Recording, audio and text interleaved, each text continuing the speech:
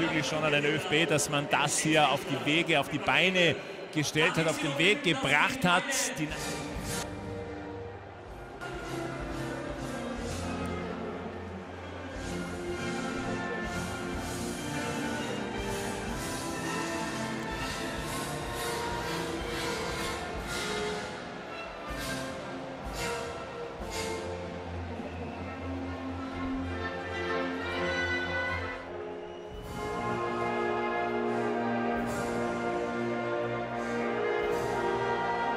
von Marko Arnautovic. Vor drei Tagen im Training keine Absplitterung. Aber es geht bei ihm.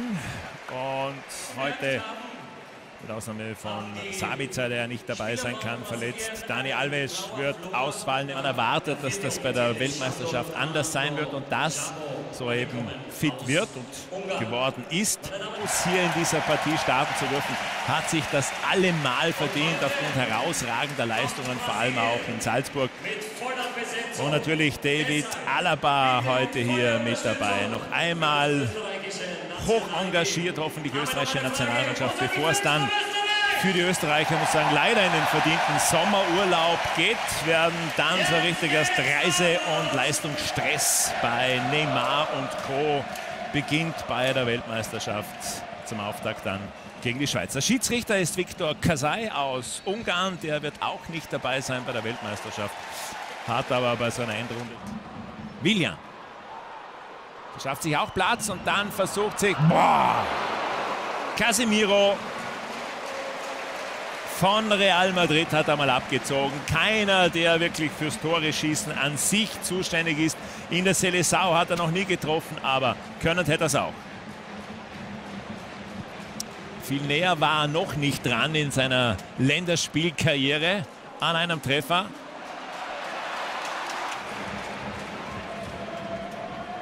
Neymar. Und Linden. Es ist immer noch zu viel Platz. Ist noch zu viel Platz. Auch Willian könnte sich da durchaus mal schneller anstellen drüben und das 1 gegen 1 versuchen. Das wird bei einem Härtefall wie bei der Weltmeisterschaft auch der Fall sein. Dann natürlich versucht man Neymar in Position zu bringen. Den darf man auch aus dieser Position nicht. Schulz Hinteregger. Wird auch wieder eine Variante. Ja, aber auf Alison Becker. Ja, ja. Wieso nicht Alessandro Schöpf? Faustabwehr ist sehr in Ordnung, auf 25 Meter hinaus.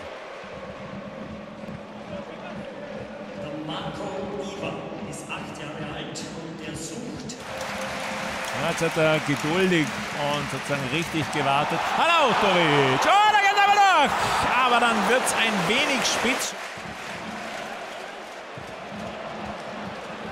Einer. Einer, haut auf! Und noch einmal und dann! Das ist die erste, erste Top-Möglichkeit für Österreich. Fein gespielt. Da hat dann für einen Moment auch die Abwehr der Brasilianer ganz schlecht koordiniert gewirkt. Und ein. Wir jetzt über links. Coutinho. Coutinho. Boah. 120 Millionen vorab, da kann er was dazukommen. Wahrscheinlich auch noch eine kleine Sonderprämie fällig, wenn er dann Weltmeister wird. Der war gut geschossen und ich glaube sogar die Abwehr von Lindner absolut nötig. Denio. Oh, schwerer Passer von Schöpf. Marcelo. Und dann Drago.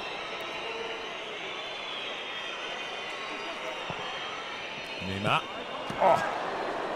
Unglaublich stark am Ball was die Brasilianer hier aufführen. Und dann wird schon wieder gefährlich. Neymar. Na, na. Aber das hier. Oh!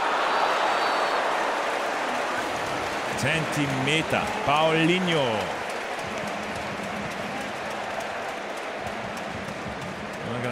Noch steht er im Abseits. Dann nicht mehr. Dann nicht mehr. Ein paar Zentimeter weiter zurück und die nächste Chance. Das war hier nichts an Neymar.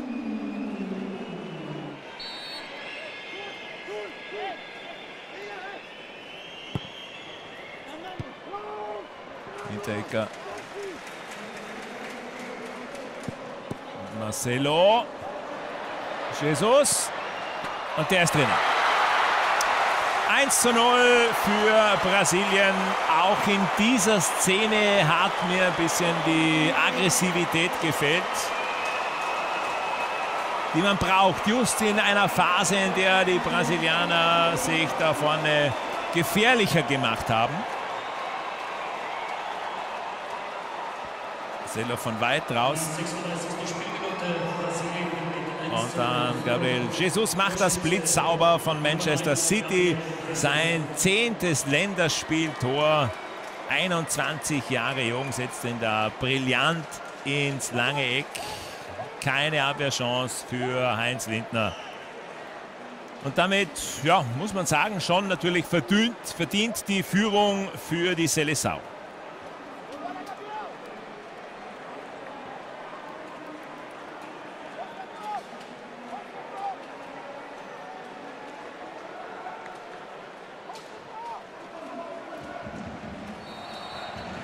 Das war sozusagen äh, die dritte Chance in Folge, fast en bloc bei den Brasilianern, die dann zum Erfolg geführt hat.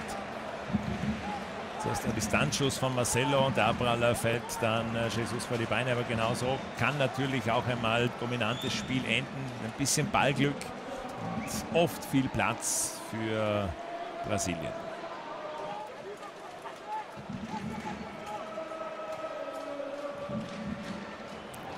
Jesus für Coutinho.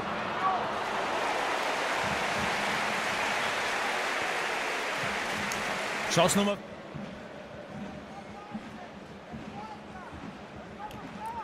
Dragovic bietet sich wieder gut an im Lauf. Anautovic macht das fein, also schön gemacht von Marko Anautovic. Wenn da ein Österreicher vielleicht wirklich nur scharf angeschossen worden wäre und nicht auch noch eine Bewegung zum Ball gemacht hat, dann könnte man das vielleicht so interpretieren.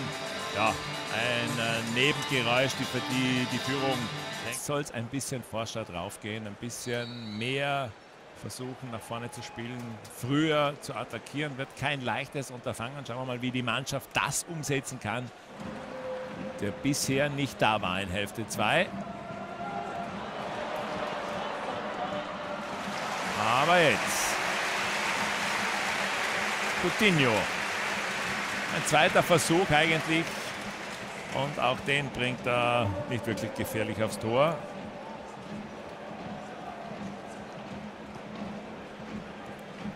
Schalten 4 gegen 3, aber das war nichts. William. Dragovic. Oh. Das war natürlich Sonderklasse. Neymar.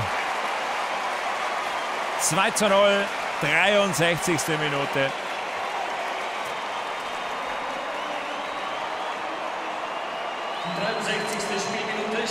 Das darf man ihm nicht geben. Der Torschütze, die Nummer 10, Neymar. Genau sowas haben die Brasilianer noch gebraucht, rechtzeitig vor Russland. So ein Treffer ihre Superstars. Dragovic einmal, zweimal. Und dann schiebt er den vorbei an Heinz Lindner, der hier natürlich auch machtlos ist. Das ist einfach zu gut. Eins gegen eins durch die Beine von Heinz Lindner. Gut, ist ihm, weiß Gott, nicht anzukreiden. Ja, fast ähnliche Situation wie bei seinem Comeback-Treffer gegen Kroatien. Auch da auf engstem Raum kurz die Gegner vernascht. Und dort hat er hoch eingeschossen, hier flach, zu gut. So, und damit äh, Treffer Nummer 55 in der Seleção für Neymar und damit egalisiert er den Wert von Romario. Der nächste ist dann schon Il Fenomeno. Ronaldo, der hält bei 62. Das könnte sich nur mit einer... Danilo, Julian. Oh. So aufgepasst.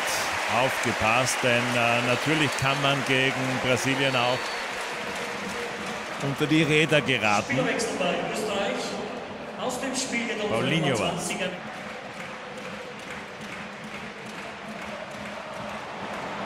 Ah, wird schon wieder gefällt. Achtung, aufgepasst. Das ist das 3 zu 0. Ja, so kann man ihn natürlich nicht stoppen.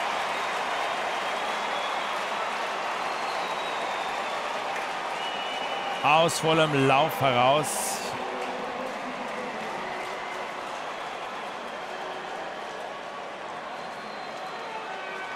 So, wer was für Mino?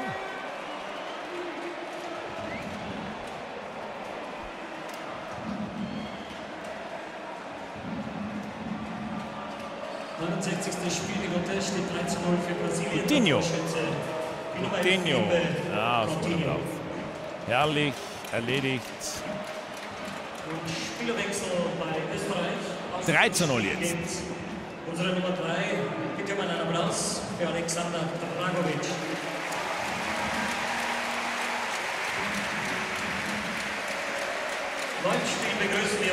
Ja, so kann es natürlich laufen, wenn man ein bisschen hier hinten noch aufmacht, weil man nach vorne noch was versuchen will und dann sind auf einmal die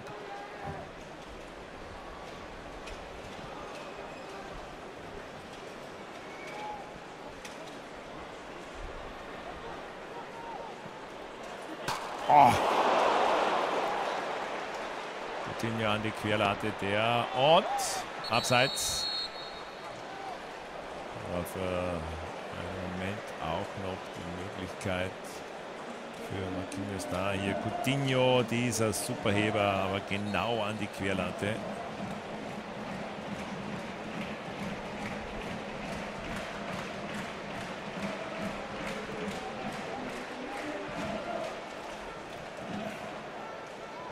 mit einem Sieg gegen Österreich im Gepäck. Wie hoch er ausfällt, ist noch nicht klar. Hierländer.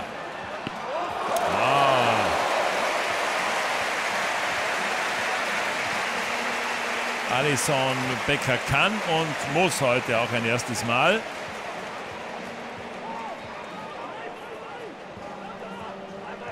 Jetzt ist ausgeblieben. Aus dem Spiel die Nummer 10, Neymar. Verabschiedet sich hier mit dem 2 zu 0. Ehrlich gemacht im Solo. Hat gut durchgehalten, was abbekommen, nichts Dramatisches.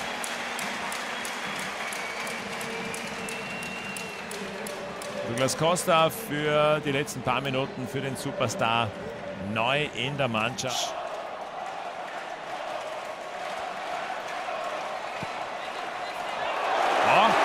nicht schlecht.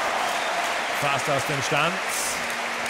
Sein äh, zweiter Schuss in Richtung Tor.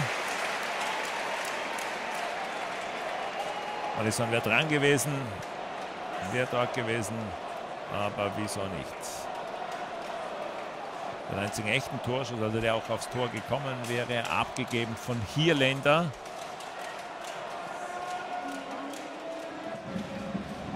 Natürlich hat sich auch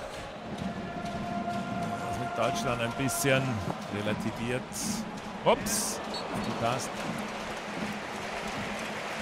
Dem 1 zu 2, der 2-1-Erfolg über Saudi-Arabien ist auch beim Weltmeister die Kritik groß geworden.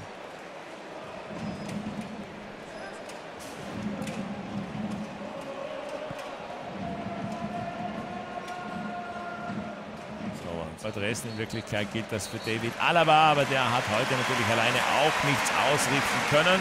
Die Schlacht hier ist geschlagen. Es war keine Schlacht, es war ein perfekter Generaltest für die Brasilianer und es war eine Partie, die okay war in der ersten Halbzeit, aber in der zweiten ist zu wenig gekommen. Kein Aufbäumen, keine Reaktion aber eben auch gegen einen übermächtigen Gegner, der vor allem personell einfach mehr als